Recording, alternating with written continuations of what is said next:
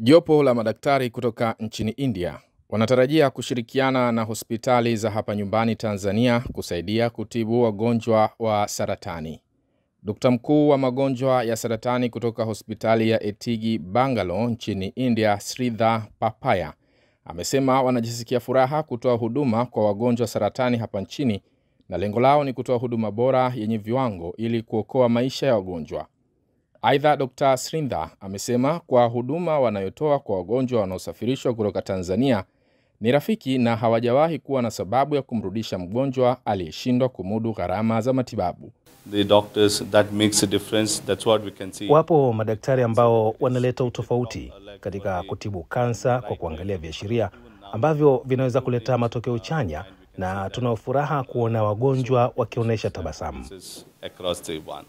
Kwa upande wake, Agnes Kelly aliyepona ugonjwa wa saratani ya kizazi amesema huduma za kitabibu alizopata kutoka katika hospitali ya Itigi Bangalore zimemsaidia kumaliza tatizo alilokuwa nalo, huku akimshukuru Dr. Srinda kwa kuwezesha kumsaidia kupona kabisa ugonjwa huo.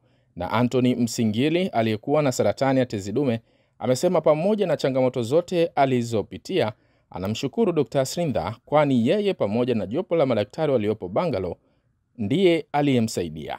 Hili hili tatizo nilikuwa nao toka na vunja ungo.